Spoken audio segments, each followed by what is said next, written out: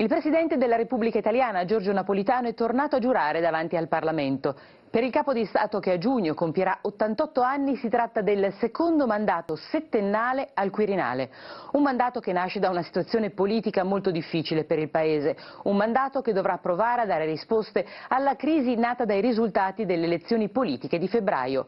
Noi ne parleremo con Gianfranco Pasquino, noto politologo, ma prima vediamo quanto accaduto in Italia in questi ultimi mesi. Amen. Due mesi dopo le elezioni legislative l'Italia torna alla casella di partenza, quella che prevede un nuovo giro di consultazioni tra il Capo dello Stato, rieletto per un inedito secondo mandato, e i partiti politici, gli stessi che in 60 giorni sono stati incapaci del benché minimo compromesso. Ripercorriamo le tappe di questi ultimi mesi. Il voto di febbraio conferisce al PD di Pierluigi Bersani la maggioranza alla Camera, ma non al Senato, diviso tra PD, PDL e Movimento 5 Stelle. Un risultato che è frutto anche del tanto vituperato Porcellum, la legge elettorale che nessun partito ha davvero voluto cambiare. Il presidente Giorgio Napolitano conferisce a Bersani l'incarico di verificare se può trovare un'intesa per ottenere la fiducia in Parlamento. Il segretario PD tende la mano al movimento di Beppe Grillo, proponendo un programma di governo sulla base di pochi punti condivisi, ma il tentativo fallisce. Io ho su questo punto. La decisione per quanto riguarda il Senato è stata quella di eh, votare no alla fiducia al Partito Democratico e a un governo fatto da Bersani e dal Partito Democratico. Tra i democratici alcuni spingono per l'ipotesi di larghe intese con il PDL e l'opzione sollecitata anche da Silvio Berlusconi. Ma Bersani non la prende in considerazione, sicuro com'è che la sua base elettorale non glielo perdonerebbe cerchiamo di dire perché non lo vogliamo il governissimo, non non vogliamo il governissimo, perché Berlusconi fa schifo, perché non è questo l'argomento, non è questo, perché la gente può anche dirti ho capito che Berlusconi ti fa schifo, però qua ci sono dei problemi. Allora, il punto è che non è la risposta ai problemi.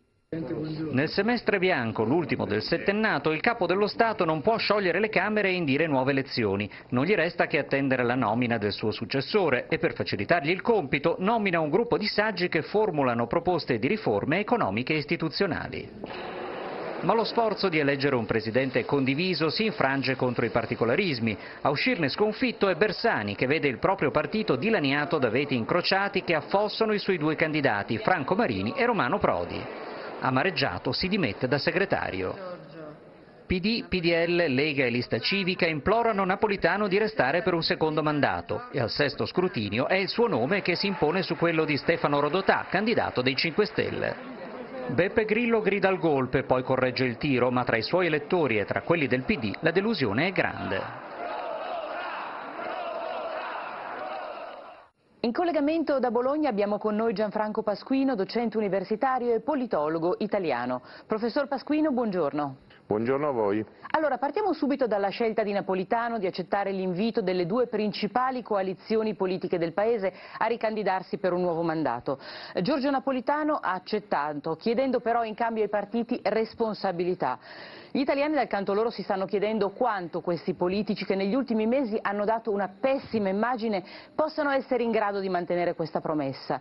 Secondo lei quanto ci vorrà prima che i partiti facciano di nuovo saltare il banco?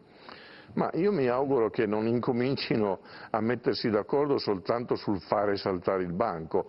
Credo che dovrebbero prendere almeno un anno di tempo perché debbono fare alcune cose assolutamente essenziali.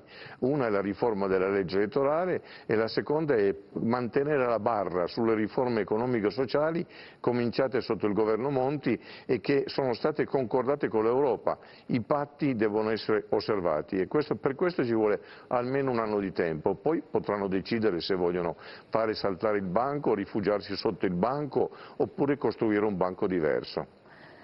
Professor Pasquino, lei ha parlato subito di Europa, eh, che messaggio secondo lei ha voluto inviare l'Italia a Bruxelles con la rielezione di Napolitano? Il messaggio è, vi ricordate, abbiamo un ottimo Presidente della Repubblica che ha un prestigio internazionale notevole, che è in grado di parlare con voi in inglese e in francese e che rappresenta eh, in maniera degnissima una Repubblica che ha molti problemi da risolvere, eccolo qua e continuate ad avere fiducia in noi e i mercati sembrano che abbiano già risposto risposto in maniera positiva. Professor Pasquino, il favorito ora per la Presidenza del Consiglio sembra essere Giuliano Amato.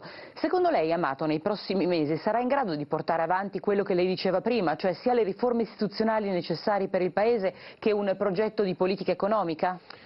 Anzitutto Giuliano Amato, se verrà scelto da Napolitano, è uno degli uomini che Napolitano stima di più e, e, dietro il quale certamente metterà il suo prestigio e il suo peso politico.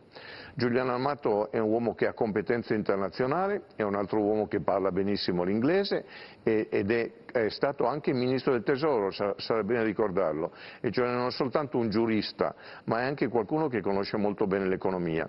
Dunque con il sostegno del Presidente e con un minimo di responsabilità da parte dei partiti, Giuliano Amato potrà fare quelle riforme che sono già state delineate e che devono essere portate a compimento nello spazio di un anno, non di più, perché altrimenti si rischiano ritardi enormi, si rischiano inadempimenti e si rischia di nuovo una speculazione sui mercati contro l'Italia. Quindi secondo lei non è probabile che si torni prestissimo a votare?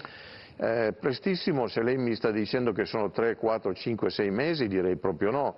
Eh, e credo anche che bisogna, dobbiamo dare un anno di tempo a un governo. Nessun governo in nessuna parte del mondo, nelle, neppure nelle democrazie più efficienti, può progettare qualche cosa se sa che sopravvive soltanto un anno.